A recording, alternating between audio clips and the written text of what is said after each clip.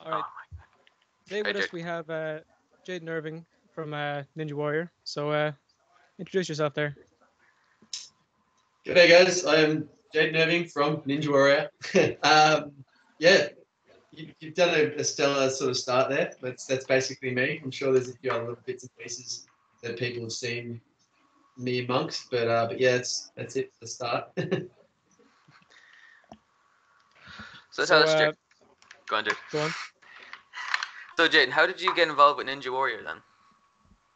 Uh, well, the short and long of it is um, since being a kid, uh, I've always been a fan of movies and all that sort of stuff. Um, loved more gravitated towards the action side of stuff, and that through life has led me towards snowboarding, skateboarding, um, basically trying any other sports outside of your general football, soccer, and tennis and all that sort of stuff. And um, yeah, through that, I've never really mastered one particular sport over my entire life um, because I've got like a bit of an ADHD brain. So uh, I've constantly been trying this and trying that, and I've never been victorious at one particular area. So um, I suppose when uh, you know Sasuke first came out um, in Japan, and and then all the subsequent Ninja Warriors, I thought, oh wow, this is kind of a really incredible amalgamation of all the different sports and things that I've played with over my life, and um, again, you know, still haven't dominated that one yet, but uh, but I feel like out of all my sports and different skills combined, that's kind of channeled me into um, being fairly fairly good at swinging on stuff and um, pretending to be a ninja, I guess. Yeah. And like it does, it does not look easy to do those courses. oh my god! Uh, we were watching some of your uh, some of your runs there, and oh my god, that you had a lot of control. Yeah, I think everyone's got a different style uh, when it comes to doing Ninja Warrior, and I think out of control is kind of a good way to phrase the way that I hit the course. Um, some people look so poised and perfect and precise. Um, I got to admit, I'm a little bit of a hack. My skill, oh no, I should say my um, uh, my technique on on the Ninja Warrior course doesn't look fantastic, but the way I figure it, as long as you get through the course and you get it done, that's where it's at. So out of out of control is a good way to phrase it.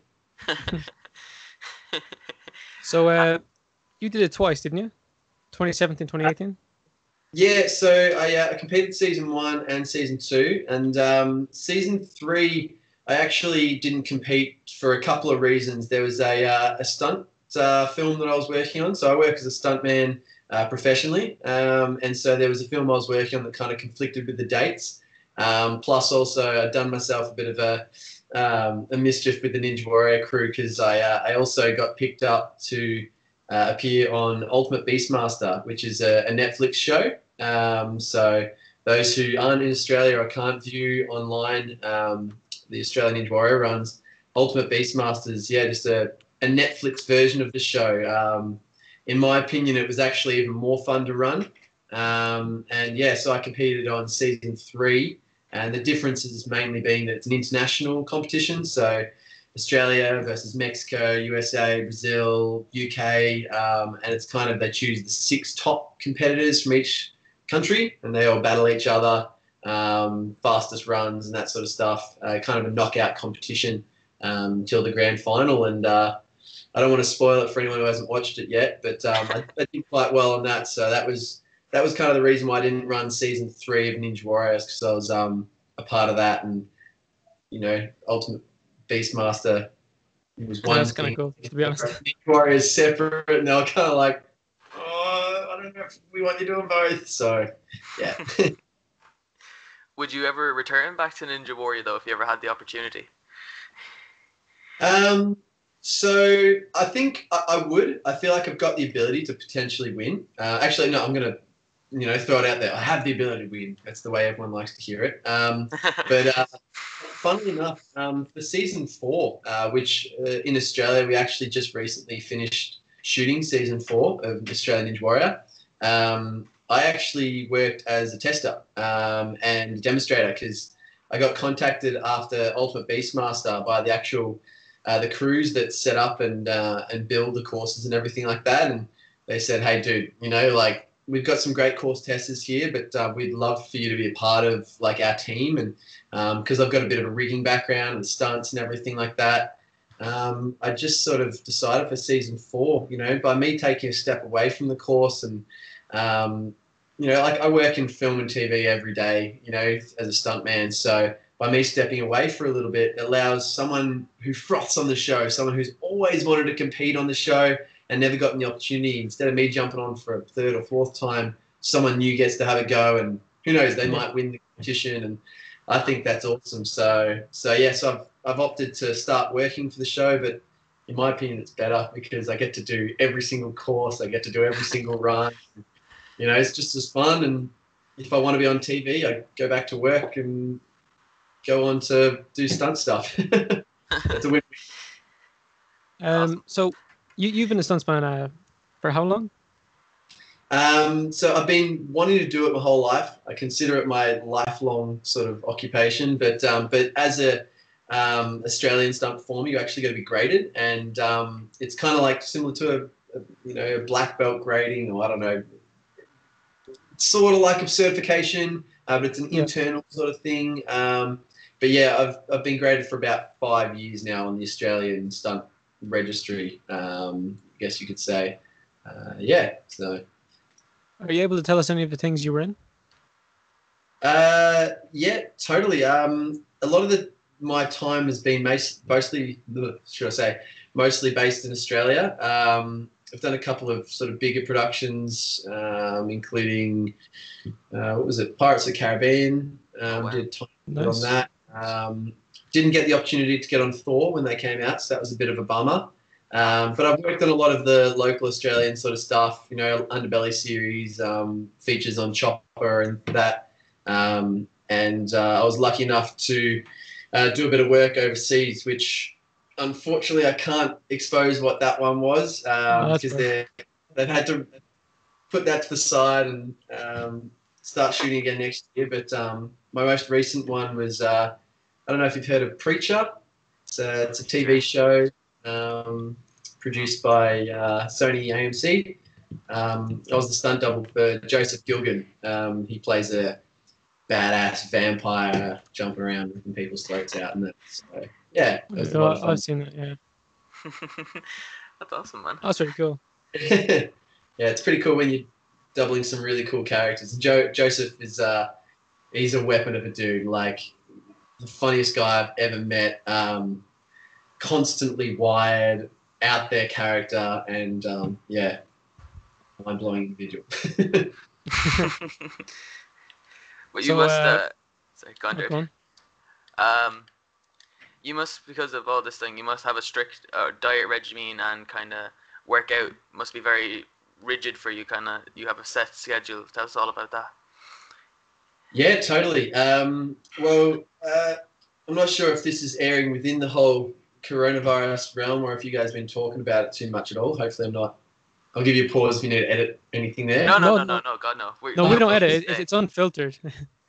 All right. Yeah, yeah. So, um, yeah, I'm, I'm not sure about when you air these sort of things, but um, but yeah, during this whole coronavirus thing, um, being that all films have been locked down, and obviously a lot of other industries and work um, has been um, under wraps. Um, basically, I've had all the time in the world and no obligations to be working. So effectively, I've actually uh, renovated my whole garage. Uh, I've got a full gym set up in the garage, treadmill, weights, boxing bag, all that sort of Oh, stuff. And I've actually spent about I don't know two and a half grand um, setting up a rock climbing wall. So um, yeah, I've got like a full bouldering space inside my garage, which is basically a daily exercise for me at the moment. Um, getting on as often as possible, resetting routes, and uh, and yeah, so spending a lot of time doing that, which is great. Um, so I've had the rock climbing training on, you know, dialed up quite high at the moment because that's a big part of my training regime. Um, keeps quite a slim body type and shape and stuff to be able to double actors, but still keep the uh, amount of strength and, and whatnot needed to be able to take falls and take hits and um, and do what's required within Ninja Warrior and stunt performing. Um, so yeah, training all the time at the moment. My diet, however, which you mentioned, um, nutrition and that, I'll be completely honest, not so good. Especially right now, it's just been um, I've been, basically been living on uh, a diet of garlic bread and mashed potato because um, Not a bad diet. hey, it, it tastes good, but it, it's not good for you. I'll, I'll be honest. I'm not the healthiest of people when it comes to food, um, but I think that I just owe that to me in my brain going, I need calories, which really I should probably put the correct cal- calories in. So anyone that's watching and listening, do the right stuff nutritionally. You'll benefit from it. Um, yeah, I'm just lucky enough that I can burn it all off through the activity. Very So, good. what, what's more important to you, the uh, the workouts or the diet? Oh, um, see, this is a really tough one. Is I've actually had a lot of people asking questions like that. You know, like how do I lose weight or how do I get stronger? And I think the way you've got to look at it in those sort of areas is what your goals are. For me, probably what's more important is the the exercise sort of stuff because I don't just have to remain slim. You know, um, if I was just having to remain slim, I would have a particular balanced diet um, that would be high content of food and and calor uh, sorry and um, and sugars and that like that to keep the energy in the day, but low calories to try and keep the weight down. Um, but if say for example I'm doing a role where I have to bulk up, I hate it because like I don't I have no interest in food. I only eat it because it's fuel personally. Um, so all those foodies out there, I'm sorry, you'll hate me for this, but but I hate bulking up because if I've got to try and consume, you know, three to four thousand calories a day, it, it tires me out. It is the worst thing ever. Um, having to eat just heaps and heaps of food, and I'm a vegetarian as well, so bulk up as well. It's it's a lot of thinking and thought processing of what I can eat, what I can't eat, and yeah, it's a pain. Um, but yeah, I'll, I, I value the the training side stuff more. But if someone else's goals are different, food is probably usually the most important thing, to be honest. And So, uh, uh, you said you were a vegetarian. When did you transition to vegetarian, or have you always been one?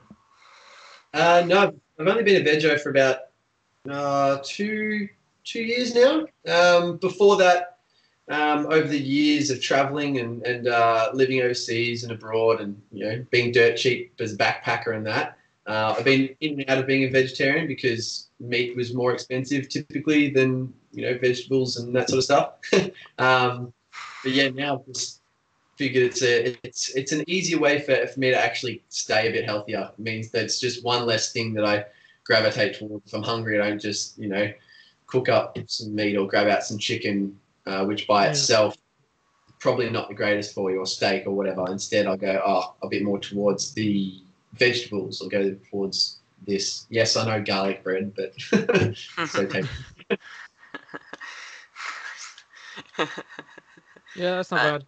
Um, so yeah, uh, if anyone's like trying out a vegetarian diet, what would you recommend to them?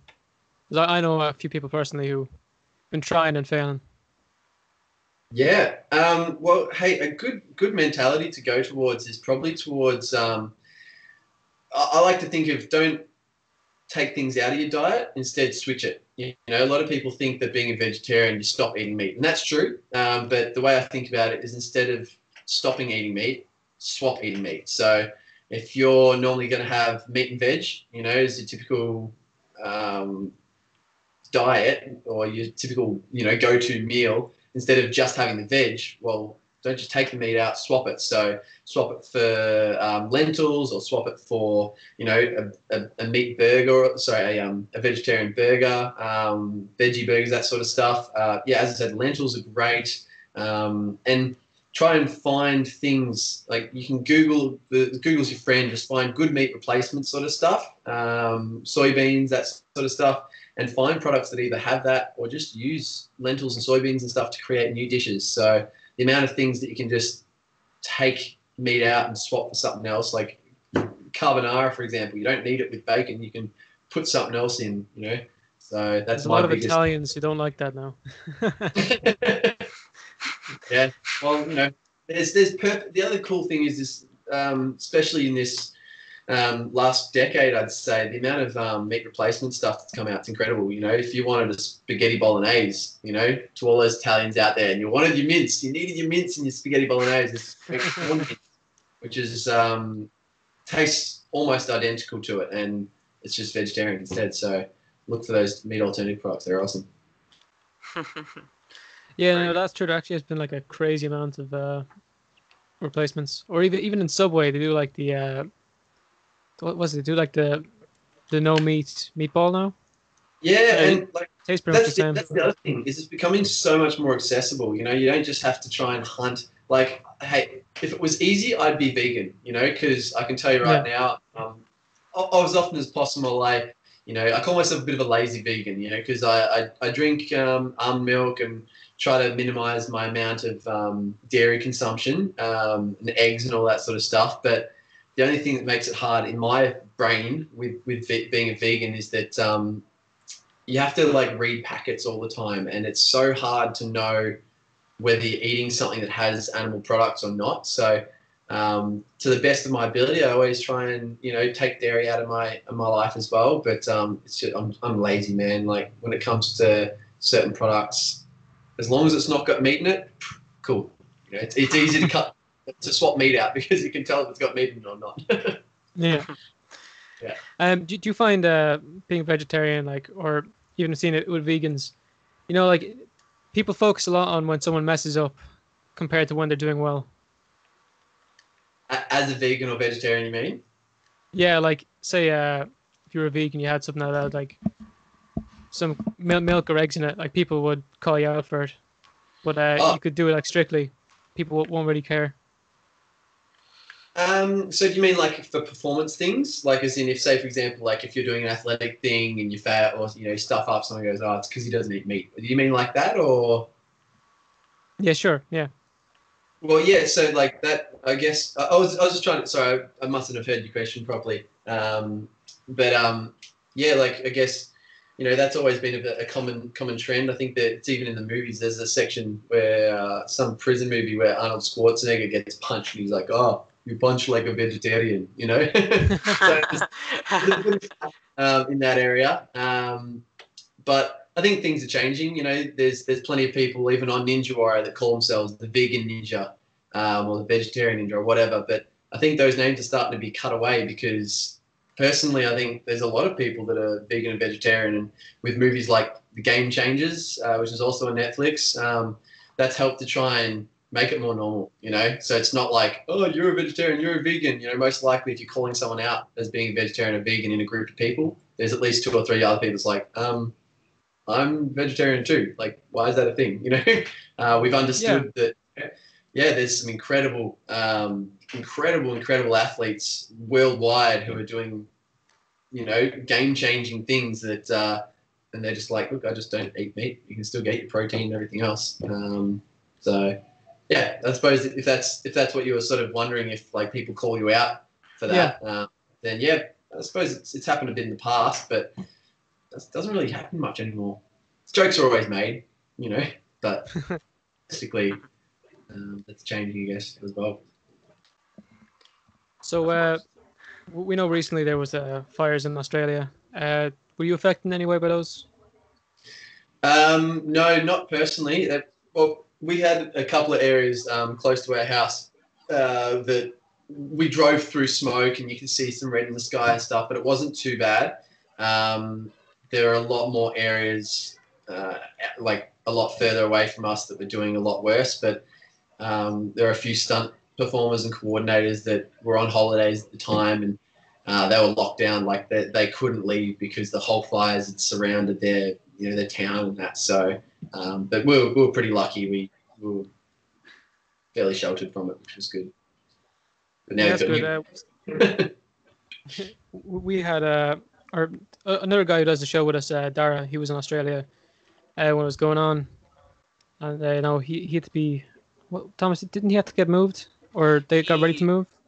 they were in the red zone and they were being in the process of ready to move, and then they were told they were all right and they could stay. wow. He was he was living with his brother, who lives over in Perth at the time.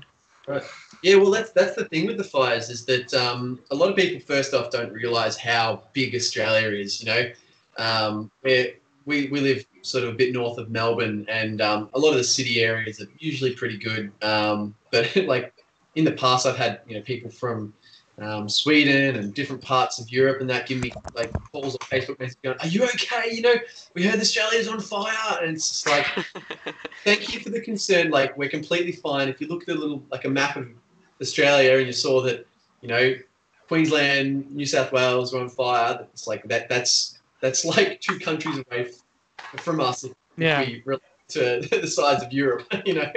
Um, so so yeah, we it, we were pretty safe, but but the uh, these fires that recently happened that did did cover a lot of ground, destroyed a lot of um, a lot of habitat, a lot of houses, and the worst thing with the follow on from that being coronavirus is a lot of people aren't working now, so um, insurance companies you know that are taking their sweet ass time paying out people that have had their houses destroyed and stuff like that are now because they haven't had their payouts and then they're, they're not working and um, and that like a lot of people are in some some pretty deep strife when it comes to um, those that were fire victims because yeah now they can't even work to earn money so it's it's pretty pretty tragic unfortunately Yeah, the, the, virus has done a lot of damage. I think to, to everyone in every country. Like, there's no one who's not badly affected by it. Yeah, totally. Like, uh, and that's that's the thing is, you know, I don't want to do the whole like woe is us here in Australia because you know, um, look at what's happened to, to Italy with the virus and, and America with, with what's going on there and um, like each Braz- different Brazil at the moment. So That's, uh, yeah, in Brazil. Oh shit, yeah. So it's like, sorry if I'm not allowed to swear there, but no, no, Oh, you're you're alright. right. Trust me. We're um, but yeah, like every every region's got their own um, sort of problems. So it's I don't know it's pretty tragic, but hopefully we'll, we'll get through. Definitely, definitely with Australia though, you've had with the fires and everything, you've had a very rough year for your economy and everything. Yeah, you've so that's been bad. focused on like these massive things that nobody could have ever expected going into 2020. You know. It's Yeah, and that, that's kind of that's kind of been the thing that's made it a little bit rough is that we had a big, you know, event happen right before this whole vir- uh, virus sort of thing. So it's kind of like, I suppose that's why not much is happening now. you know, um, like not much is unfolding because everyone's like, look, we've been through that. Now this happened. Let's all just just chill. Let's just actually stay in lockdown. Let's not try and cause any problem problems. So yeah, we're just kind of trying to let everything pass on by. Hopefully now. And with uh, lockdown, and with lockdown in Australia now, how are, are you coming out of lockdown, or what are you? What stage are you at at it now? Um, each state is slightly different. Um, in Victoria, I think we've only just had uh, 11 cases sort of per per day or per couple of days. We're the only one that's sort of still having cases in Victoria. So our lockdown laws are still has a bit of stringency, but um, but it's not like you have to stay at home anymore. It's definitely advised and that, but um, but you're allowed, I think, five people um, over at your house um, for you know for mental sanity sort of purposes. Not like yeah, everyone let's host a party, um, but it's kind of like hey, do your best and diligence to try and stay at home, minimize contact, and and if you are contact like you know being in contact with people outside of your house, you know, and you're visiting, let's say a friend or two, like try and keep it within just that group. You know what I mean? Like uh, as opposed to visiting this friend and that friend and that friend, and you know, so so it's kind of it's easing up a little bit, but we're still everyone's still wiping stuff down, using hand spray, and um, yeah, there's even people that are employed by the government to, to go around and like wipe traffic, um, you know, the buttons for, for the lights and stuff, just Oh, any yeah. touch that's just around. So, which that's keeping people employed, which is good. Yeah. Uh, here we're entering stage two in three days. Uh, What, what does that mean again, Thomas? That means we can. Uh, we can go 20 kilometers outside our house, and we can meet in small groups of four inside or outside. And I think it means that people who are cocooning can stop now. I'm not sure, or are they Yeah. already stop? I'm not sure anyway. Anyway, change. That's good. Yeah, yeah. Well, it- it's good that you're coming out. I think um, a lot of Europe, by the sound of things, have had a bit more stringent with their, their lockdown laws and stuff. Um, Australia, I just went over that. Australia is so big. I think that's the other thing is that you know, us traveling 20 kilometers, like that might just take us to the next couple of suburbs. You know, so so that's the other thing where where we've we've still got fairly stringent lockdown laws, but there's a little bit of play with that to go, hey, look, you know, as long as you're just reasonable. Um, but yeah, so things are tra- changing, and hopefully, not not in for too long. I got to start working. Need some money.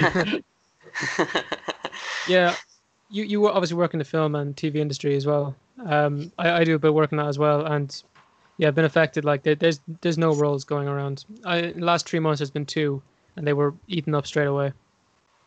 Yeah, oh, there's absolutely nothing. It is ridiculous. I think the only um, we've only just recently had maybe one or two productions start back again. Uh, one of which being Neighbours. I don't know if you have seen or would have seen no, no, Neighbours. we, we've we've heard of Neighbours. Yeah, it's on it's on Yeah. TV here. A lot of Australian TV is actually pretty popular here. Oh, killer! Oh, that's cool. Well, yeah. So Neighbours is back shooting, um, but with you know social distancing. Apparently, there's like no touching. It's like unless you know they have to, but like all shots are being done with like 1.5 meter distancing. Um, there's like a a very unfortunate coronavirus safety person on set who I'm sure is hated by everyone because they're just running around spraying stuff, going, "You move across from no, you can't stand that. No, I, don't touch that. You can't."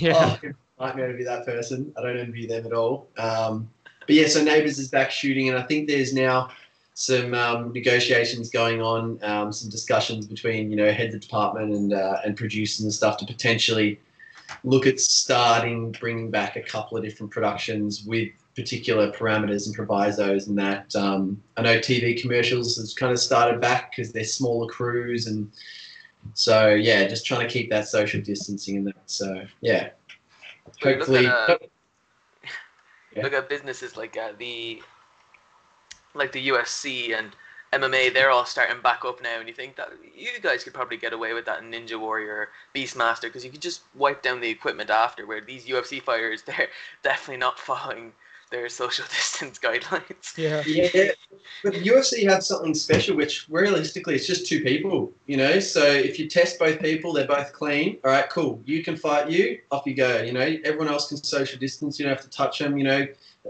the fighters have been working with the individual coaching team, so they're all kind of good with each other. So that sort of makes a bit of sense. And um, as long as they don't have audiences and that, um, we actually got lucky with Ninja Warrior because we actually were shooting right at the start of the whole coronavirus outbreak. Um, and I think in Victoria, or maybe even all of Australia, Australian Ninja Warrior was the last TV movie, whatever production to be shut down. Like we went right to the last moment. Um, so yeah, we got got pretty lucky that we managed to finish shooting that. So there will be a season four, which is good that will be released. um, but yeah, so we just got in there, and I think uh, season five's probably not penned to start shooting until um, early next year, which is good. Um, Yeah. yeah. Of course. I'm pretty sure pretty sure they're shooting in Germany at the moment. Actually, now that I think about it. Are they? Yeah, Ninja Warrior Germany's just back because they've been pretty good at locking down. So yeah, Yeah, they've been doing all right compared to the rest of us. I wonder when they're starting back up now. Let's see. Um, so I I asked you beforehand if you're comfortable telling the story, but uh, could you tell us about the incident in the Congo? yeah, no problems at all. Um, so yeah, it's, I think it was season season two Ninja Warrior. I think they picked that story up. Um, yeah, it was uh, in ooh, I'm trying to remember now, 2013 or 14. I can't remember exactly. Um, but uh, yeah, basically, I, I've spent my whole sort of um, early, sorry, late teens uh, traveling and early 20s. Um, as soon as I finished high school, I decided oh, I want to get get overseas. So spent the first couple years, you know, went to New Zealand, went to the States, traveled there for a little bit, uh, spent some time in Europe, did a season in Chamonix, um, the French Alps, and another summer in Barcelona. So I had a bit of fun traveling and ended up coming back home for a little bit, working retail and hating it, and then wanted to go traveling again and thought, "Ah, what do I want to do? Like I want to go somewhere a bit different. You know, I've I've done, you know, well not done, but I've been to States, been to Europe, um, and I figured, you know, it'd be kind of interesting to check out Africa. And um, at the time, I was surfing heaps and, uh, and doing pretty well, and um, approached a, uh, a surfing company um, about sponsorships because I had this idea that was like, hey, I want to try and surf along the whole uh, west coast of Africa. um, from South Africa all the way up to Morocco. Just a cool little idea. Thought I hadn't really read much or researched much about the surfing there, but uh, jumping on Google Earth and checking out the uh, the map, I was like, looks like there could be some pretty interesting surf spots. And yeah, approached this company. They're like, we agree with you. That sounds like a great idea, you know. So they gave me a little bit of cash and some gear, um, Creatures of Leisure and um, and Firewire surfboards. Uh, threw me some some bits and bobs, and um, basically it was on the proviso that that I go out there, travel, find some new locations, create a bit of a blog about the whole journey and um, and uh, any good spots that I find, sort of relay it back to them uh, so that they can do some little features on it on their website. And potentially the idea was to any new spots that I find, uh, they'd be flying out there. Pro- like I, I, don't consider myself a professional surfer. I just do it for fun. Like I'm, I feel feel that I'm okay at it, but um, good enough to get a sponsorship, which is nice. But uh, but they would send out their pros, you know, the competitive guys, um, surf them and make some really cool cool videos of some different um, spots. And so that was the idea. That was the thought and uh, so I picked up uh, all, all my gear. Didn't didn't have much money. I got, got, got a little bit, but not not enough to buy a car and travel around for a year. So um, my intention was a year, but I was going to try and rough it. So the intention was to kind of hitchhike, um, do what I can to get by, and sleep in a tent on the beach, basically. And um, yeah, after about seven months, I oh, about six months, I think it was, I got to halfway. So um, got to Kinshasa, which is in uh, in Congo. So I spent some time, you know, through South Africa and uh, Namibia. Um, but actually couldn't get into Angola, so I had to go around through Zimbabwe and Zambia and that. And um, yeah, ended up getting to Congo, and Kinshasa was the, the capital city. Um, so I spent a day or two there, and then um, inland from uh, Congo, uh, sorry, uh, towards the coast from from Congo uh, through Kinshasa there's actually a tiny little coastline, and by tiny, that's tiny for Africa. I think it's maybe 100 kilometers, um, which again, in Africa is nothing.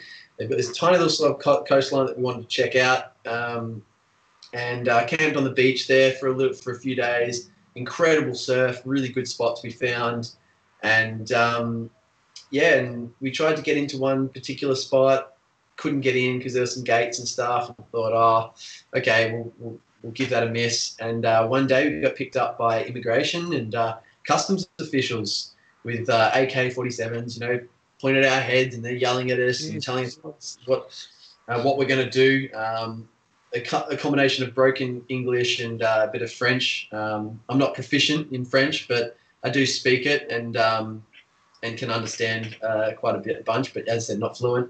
And yeah, so I got thrown into a you know, a, a, van and taken back to Kinshasa. And after about a week and a half of just being held in some immigration facility, um, and this is like African immigration facility, um, and Congo, just as a bit of a, uh, a foreplay for everyone listening, is um, is one of the the lowest um, socio-economic countries I think listed uh, currently, or was at least a couple of years ago. Um, they have the lowest development index, and so they're struggling. They're, they're doing better now, but um, but yeah, at the time they were going through some rough rough times, and uh, they'd just come out of you know civil wars and a lot of um, civil unrest, and yeah, so we were held for about a week and a half, and then transferred to what was called AN ANR, which is Agence de Nationale de Renaissance, which is basically the National Intelligence Agency. Um, and throughout this whole time that we were held, we just thought maybe it was like a a customs thing, like maybe we didn't have some forms done right, or maybe they were after bribes or whatever. We didn't really know. They weren't telling us anything. They were just kind of asking us a lot of questions about how we traveled, you know, what we were doing there, all that sort of stuff. It must have been terrifying. Um, yeah, it was pretty terrifying because you know when you're thrown in a cell with with no description of what you've done or what your reasoning is, um, with a whole bunch of people, you've got no idea whether you're um, going to make it out of the day um, without getting beaten or tortured or whatever. Luckily, there was no really beatings or tortures, um, torturings that you know we um, were victims of. Luckily, um, not at this stage anyway. And um, yeah, so we were just held for a while and questioned and through talking to some of the other people in the jail cells. Um, and by, by talking, I mean at first, for the first couple of days, we just kept ourselves. We just stayed in our little corner. Um, to give a bit of an idea what these cells were like, by the way, it's like it's not like a cell as in like a prison cell. It's more like I don't know how to describe it. It's like imagine a, a stone room, like like a rendered stone room that's maybe I don't even know how to be like maybe 15 meters by 15 meters and just crammed with a bunch of people.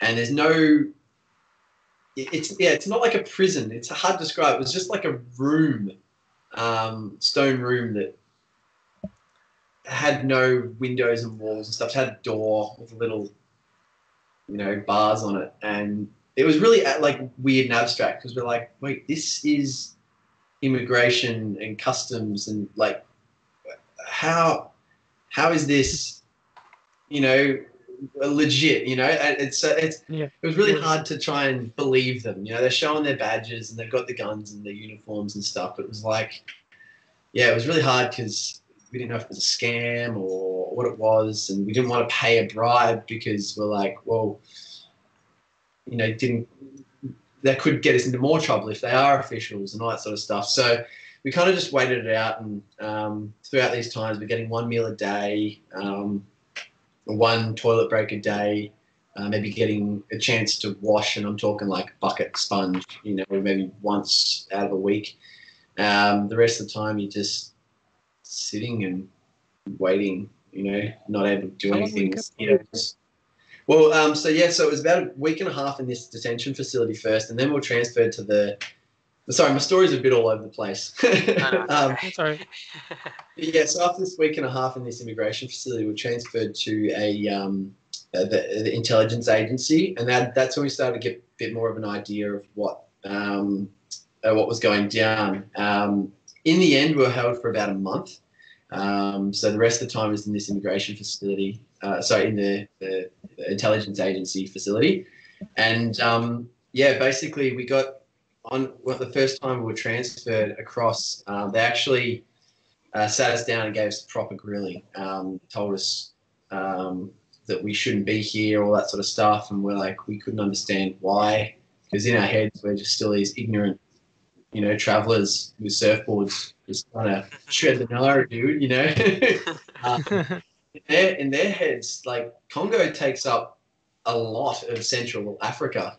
Like they're not known for their coastline. They're like, you haven't come here to surf. That doesn't make sense to us, you know.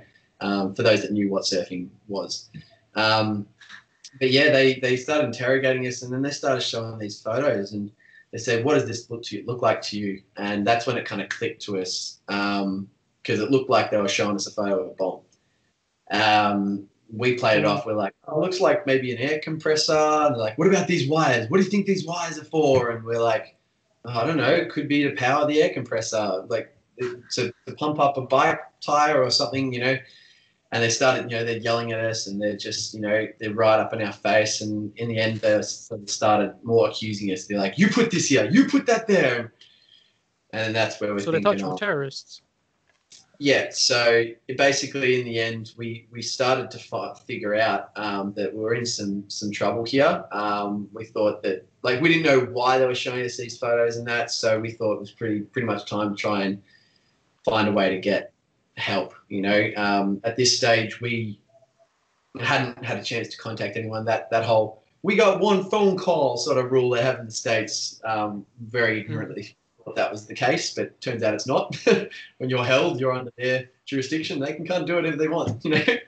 so um, they're like, we need a phone call. We need a phone call. No, that doesn't happen. So um, yeah, basically, I, I sort of took a punt and um, actually bribed one of the guards um, who spoke uh, good French but not any English at all, and um, kind of, as I said, just took a punt on maybe that's the guy who can help us out. And I told, I gave him a hundred dollars that I had, you know, hidden, hundred American dollars hidden in the shoe, and I told him, hey, look, I've got some more money in my bags. Um, if you can access them, I'll tell you where some more money is that you can grab. Um, if you can just let us use your phone, you know. Um, so came back the day later, actually gave us a phone. Um, I didn't think I'd have enough time to, to make a phone call, um, and I didn't want to get the country codes wrong. So I sent a text message to my mum's phone number, which is the only one I could remember, with all the country codes and stuff. Send her a text message saying, "Hey, I'm in prison. Um, this has happened. Rah, rah, I'm at this facility.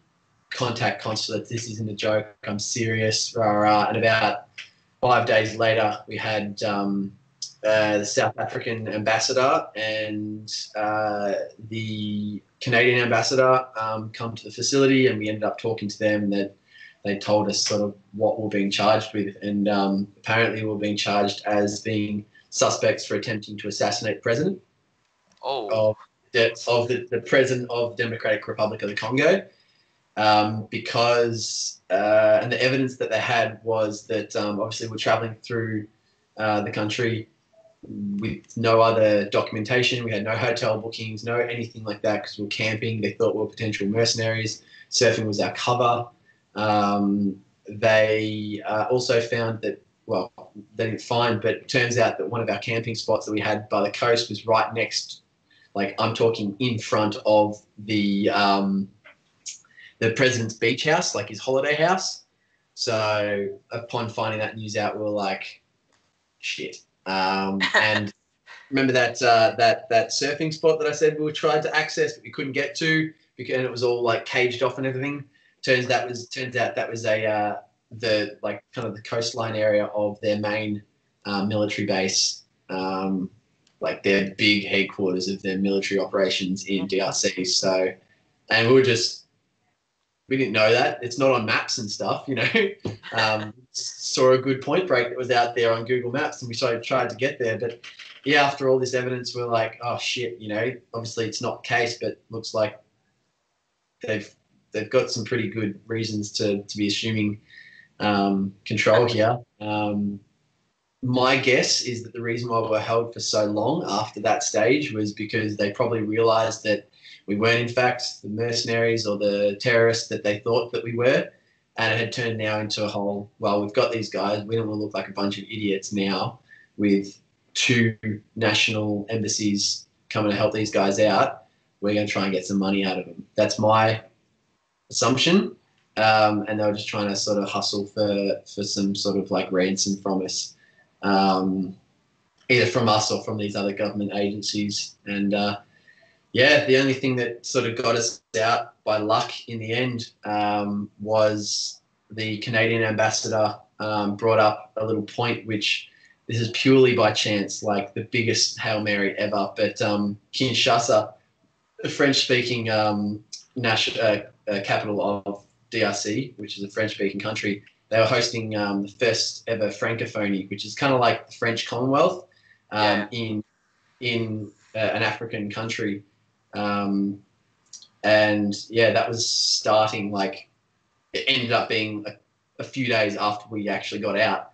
Um, so they used, I think they used a bit of leverage. Hey, like we've got this Australian in your custody, you've got this Australian in custody.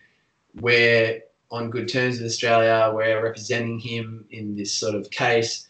We've got our Prime Minister coming out in a few days on this big landmark, you know, 2020 style event for the French speaking sort of um, uh, Commonwealth. And, you know, I think they kind of put a bit of political pressure on him and, uh, and, and ended up getting us out. So if it wasn't for that, like I, I, I would not doubt that I'd still be in there today or, or dead, you know, because the amount of people in those sort of parts of the country, of the um, the continent and the country uh, are just swept off the face of the earth is ridiculous. So, yeah, thank my lucky stars for that one. And um, irony is, I didn't even realize until probably about a year after how bad things had gotten at the time when we were actually released um, into the, the custody of these um, South Africans and the, the Canadian sort of ambassadors, um, my thought was just to keep going on my journey, keep going north, and uh, yeah, just shows how ignorant I was at the time.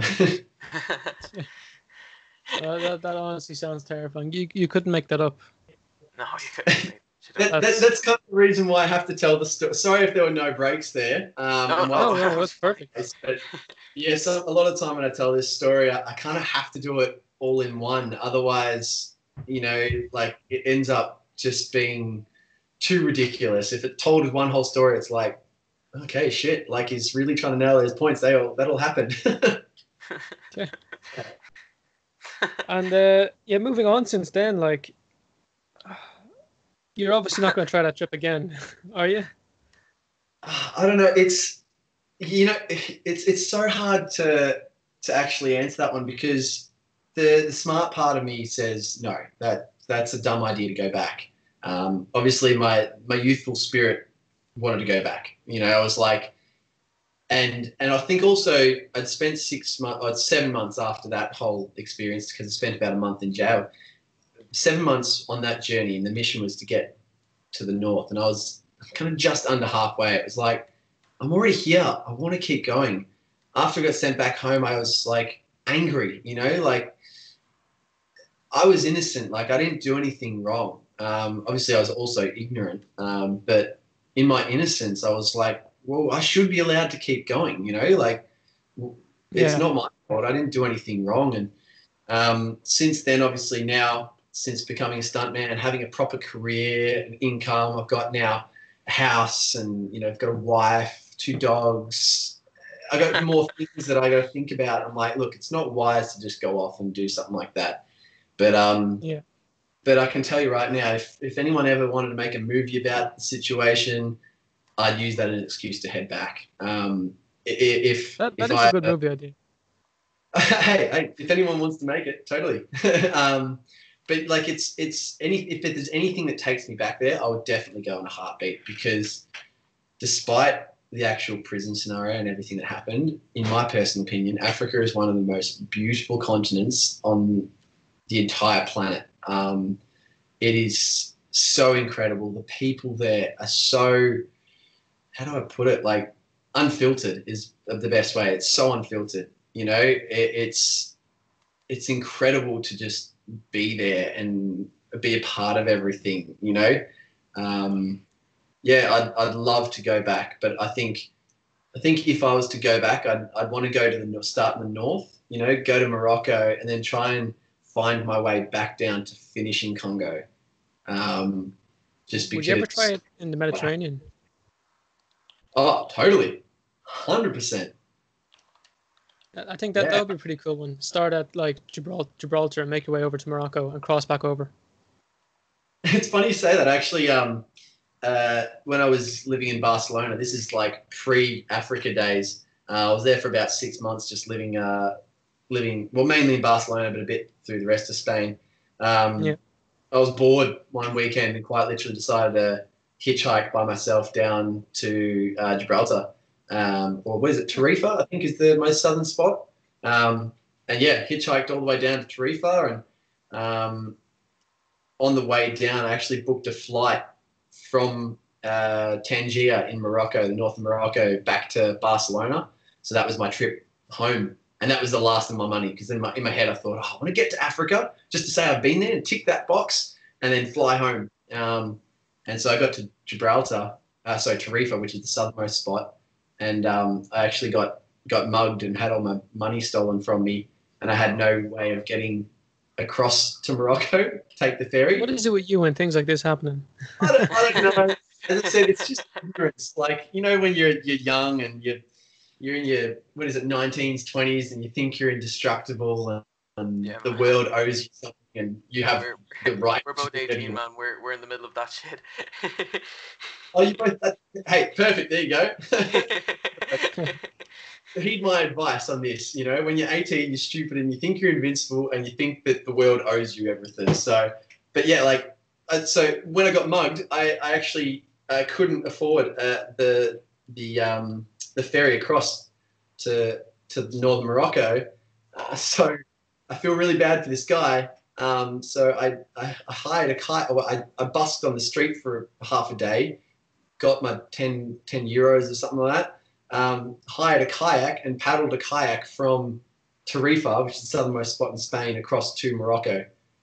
Literally the dumbest thing I've ever done. It took me a whole day. Uh, I think it's only like 50 Ks or something like that, which is long enough to paddle. Um, but yeah, it, I made it. And when I got there, different uh, set of issues because I didn't have entry stamps and all this other stuff.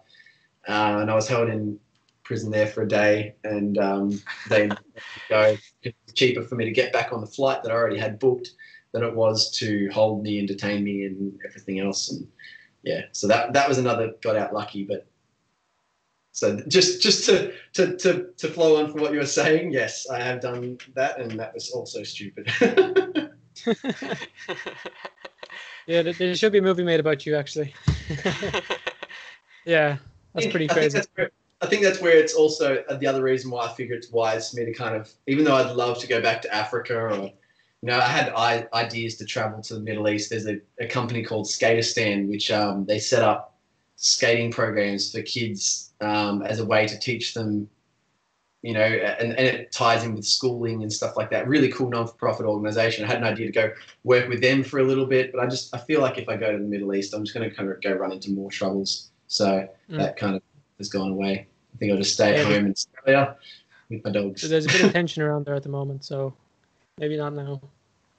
Totally. So yeah, all these different adventures. I think I think I've done enough adventuring for the moment. I think I'll just stick to home life, stunt life, and ninja life. I think it's it, that's enough adrenaline for me right at this moment. It's still pretty crazy stuff. yeah, definitely some difference there. But um, actually, if you don't mind me asking, I, I, what what ties your guys into this sort of stuff? Are you travelers yourself, or ninja warriors, or how, where was the interest there? If you don't mind me asking. Um, well, I, I'm an athlete and uh, I'm also an actor, so I, I, I could kind of relate to some of the things that I seen you do, not Yeah. not to the full extent, like so. I was, but I thought like, oh, this would be a really interesting guy to get in the podcast. Yeah, cool. and I watch American Ninja Warrior. You know, sometimes that's on the TV. And I thought, you know, getting someone from the actual show to speak about their experiences and stuff like that, man, would be awesome. You know. Like, the worst anyone could say is no. So So here you've got me uh, talking about Ninja Warrior at first, and then I've taken a massive tangent by talking about my multiple arrest stories in multiple different countries. to be honest, man, we, our, that's our the stuff people want to hear. That's brilliant. Our friend yesterday, we got into a conversation where he said he, you know, if he was the last man on, on Earth, he'd like defile the Queen's throne. So trust me, man, that's not the weirdest shit that's been said on this podcast. Yeah, there's been some weird stuff. Um, I I have no opinion on the Queen. I, I know we are under the monarchy, but I know it's it's it's not quite North Korea, but it's it's almost sacrilege to say anything bad about the Queen. So I won't even bother doing that. yeah, oh, it, it was a joke, and he obviously didn't mean it. yeah, he says that, but you know, every joke has a meaning. Yeah. Um. So, your your brother was also on uh, Ninja Warrior, wasn't he?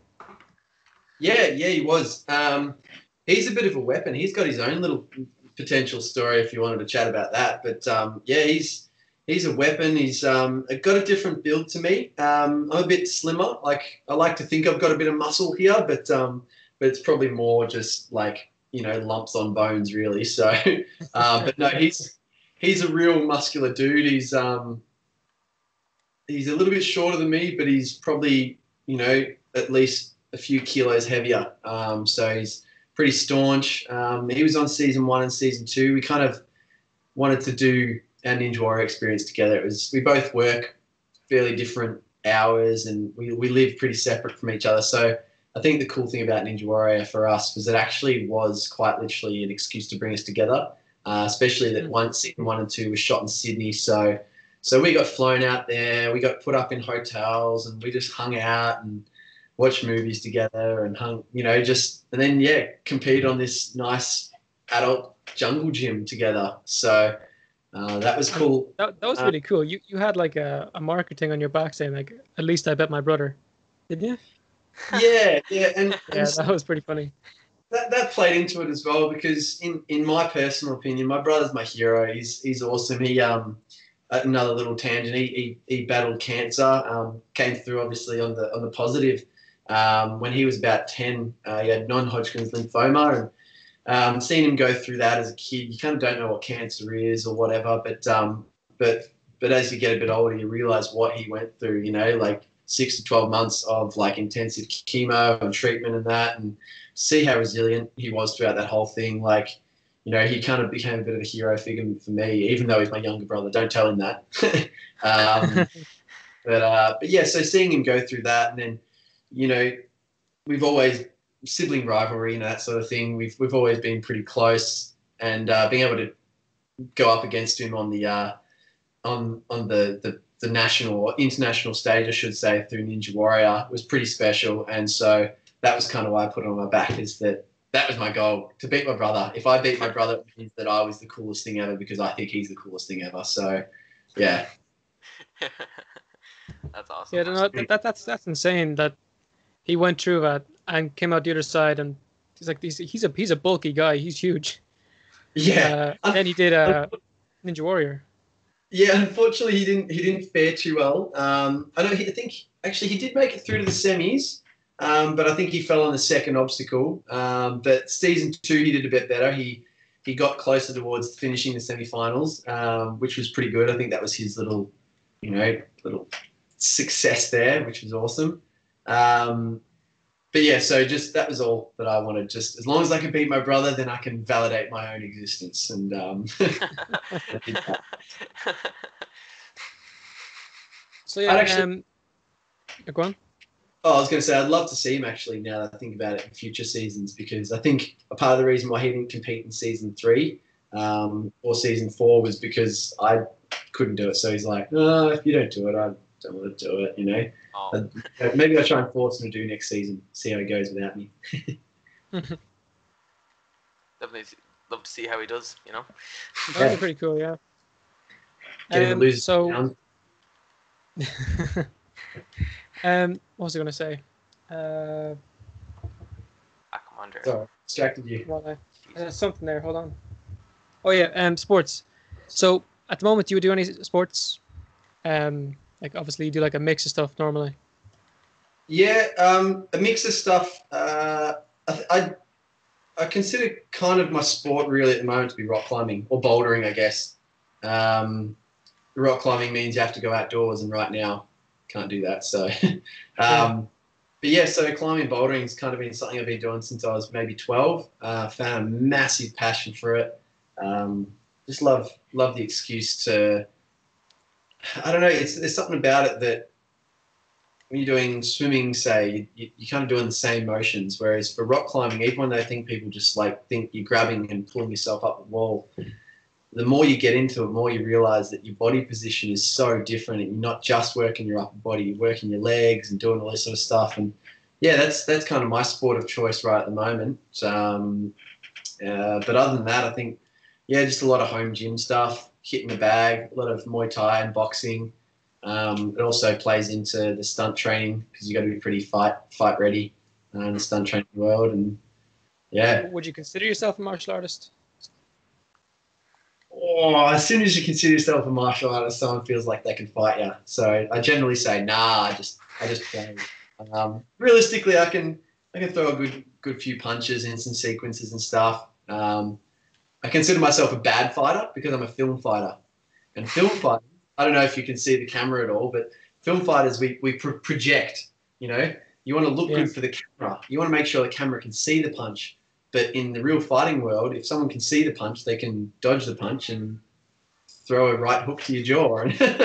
so, so I feel like if I was in a real fight, fight I'd be like, yeah, come on, like throwing punches it's really wide over their head and big kicks that they can see from a mile away, and they'll just floor me. So uh, we're, we're not going to see you in the next uh, UFC, no? No, I, I, I wouldn't assume so. They'll um they'll have me for dead. We actually, when we were looking, trying to like do a bit of research on you, just so we knew what we're talking about. Um, there's there's another guy who shares the same name as you, but he was doing a like a cage fight, and we're like, he's a cage fighter as well. And then we realized it wasn't you. Yeah, no, So I'm, I'm not a cage fighter. Um, not unless it's on TV. You know, put me in a cage and film it, and it- it'll look good. But but yeah, I, I, I've been in a few fights before. You know, like scrappy stuff as a teenager and that, and um, more sparring. But I haven't haven't sort of fought on a um, you know an amateur level or professional for that matter. Yeah. Yeah. So uh, I, th- I think that's everything we can really ask you. Um, yeah, that, was- that was brilliant. Um, if people want to go follow you or they want to keep up with you, uh, where can they find you? Uh, yeah, I'm, I'm, I'm actually quite active now on Instagram with all this whole lockdown sort of stuff, and putting up a few of those sort of challenge videos and that. Um, so that's Crash Test Mozzie, kind of like you know Crash Test Dummy. Um, oh yeah, for those Nice. who haven't picked up at all, um, even though Jayden Irving is my name, um, Mozzie's a nickname I've had for years. I think it's based on the whole ADHD brain of like being constantly distracted and not know what's, what's going on, can't hold my attention. Um, but yeah, so Crash Test Mozzie is is me, and um, yeah, that's where Mozzie came from. Well, thanks for coming on. Um, You've been a great guest. yeah. No, Oh, thanks. Uh, I think the viewers are gonna love that story about the Congo. Definitely. Yeah, sorry if I went on a different tangent, but it's always a different story. Not many people have heard, so hopefully it's a bit of fun. But um, yeah, thanks for having the chat, guys. It was uh, nice for you to listen. Thanks for coming on, man. So uh, thanks for watching. Uh, make sure you like, subscribe, tell your grandma about it, and uh, yeah, take your handy. Enjoy.